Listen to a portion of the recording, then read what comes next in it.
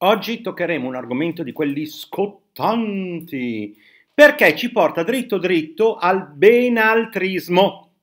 Il benaltrismo è l'argomento principe degli incapaci, degli sfigati e perdenti, chiamate della serie B, cioè degli altri, non di noi.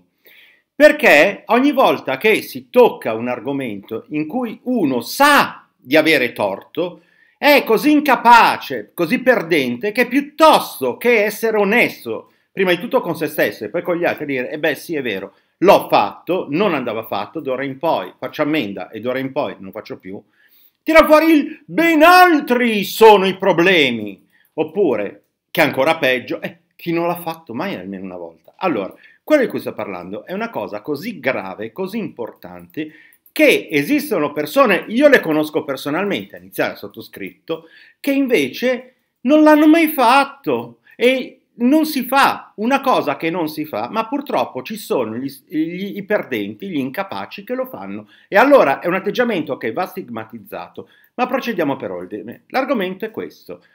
I bambini che viaggiano sulle automobili, per quel che riguarda i caravanisti, sulle, sui camper, per quel che riguarda i camperisti, senza avere la cintura di sicurezza allacciata.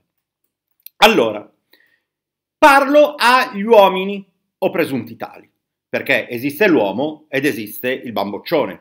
Allora, io spero di rivolgermi agli uomini.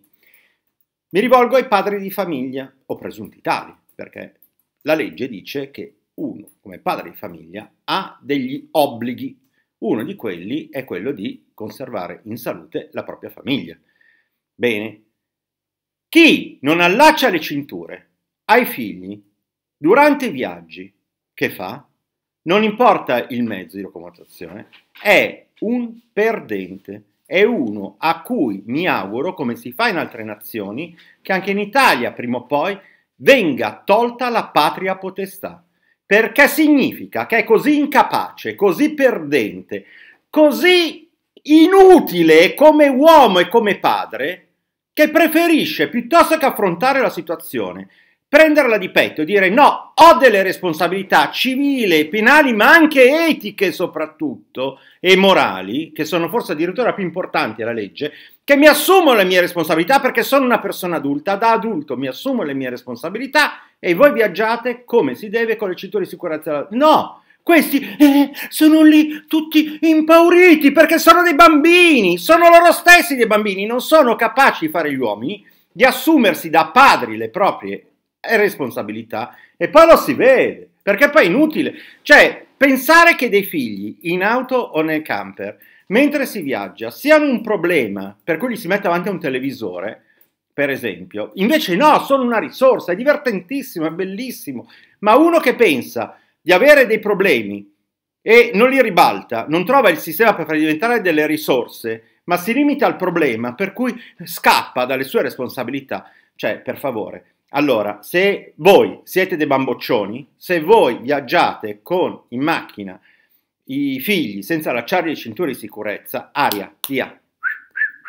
Il, il, settore è ampio, è grosso, andate su altri siti, andate su altri forum, andate dove volete a parlare del ben altri, ben altri sono i problemi, eh, chi non l'ha mai fatto. Ecco, allora, via, aria, su, que, quei cinque perdenti non li vogliamo, vogliamo i 500.000 vincenti che invece non l'hanno mai fatto non lo fanno.